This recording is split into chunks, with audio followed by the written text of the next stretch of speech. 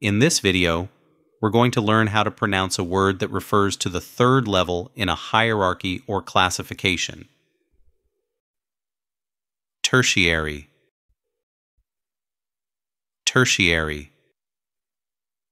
Tertiary.